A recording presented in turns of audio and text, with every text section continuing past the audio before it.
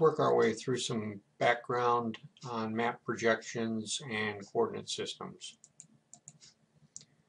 So the datum, horizontal datum, we need to specify what the ellipsoid is, and then we got to specify some coordinate lo locations on the surface. The vertical is we specify the ellipsoid and then we specify the geoid.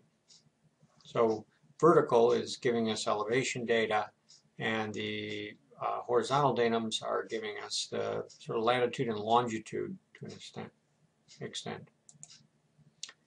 So back in the day, um, we needed to measure positions from uh, place on the globe from one place to another. Uh, this is uh, Robin Williams' uh, first job here. And so how do you do this? This uh, in sort of an old school way or by taking observations from uh, satellite tracking.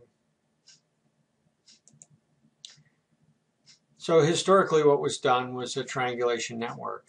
You take a uh, astronomical observation and establish one point and then would work from point to point on the on the globe. So uh, you'd use a triangulation here because it, it, was relatively easy to measure the angles but different difficult to measure the distance. And you're you're doing a point to point distance not not a, path along the ground. Uh, even before that, uh, surface measurements, uh, here you have compensation bars, and the idea was that we were going to measure from this point to this point, uh, compensation being a way that we would uh, be able to, to compensate for the different temperatures and the expansion of the rod.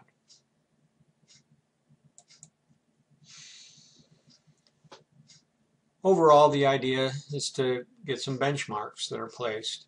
And so you can see this uh, is up on top of the mountain here, putting one of these benchmarks around. And you can find these um, in many places around. There's uh, maps that show where they are. There's probably uh, 30 or 40 of them around uh, your local area. So over time, um, we had rods and chains. You may have heard of uh, something along along that uh, idea. But here you have a, a series of devices from measuring from, from one place to another. So we went from uh, the 1600s where it was really kind of related to uh, your hand or, or a pace, if you will, uh, then to the 1800s where they became rods and chains, and 1700s where uh, it was a metal tape. So in 1927, um, They took 26,000 measured points, utilizing the spheroid uh, of Clarke in 1866. And the uh, starting point was in Kansas. So the uh, survey extended from that.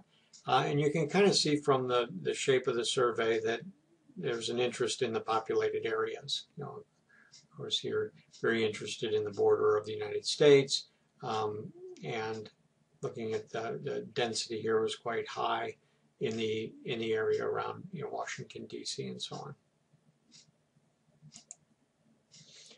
So in the 20s, uh, we are measuring from with a, with an optical uh, device. In the 1950s, we're microwave reflecting uh, systems, and now in the 1990s and beyond, uh, we're using GPS sort of high-end GPS equipment. And here you can note that it's actually referencing a, uh, a sidewalk. So the um, we're using aerial photography to really establish some of these points on the grounds now, ground now.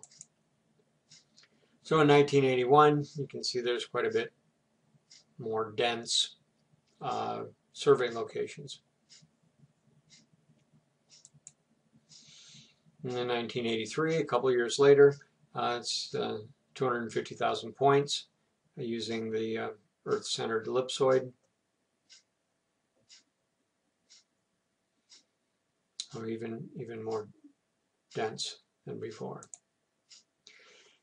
So what all this means is that depending on when your data was taken, your concept of where the actual location is on the Earth is changing. So for example, uh, the error or shift in the, in the datum or shift in a measurement, uh, if we take the North American datum uh, 1927 as zero, um, you're 35 or so meters off, 36 meters off.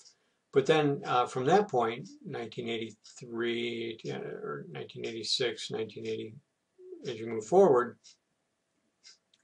uh, you can see that the, the shifting is much less. So these are meters. So 36 meters and then um, 4 centimeters, 5 centimeters, and a tenth of a, or a full meter. So how far different in location do we we really feel these places are. So this requires us to do transformations because we want these points. Some data that is, is done this way, we want to line right up on top of data that's done this way, which we want to line right up on top of data that's done that way.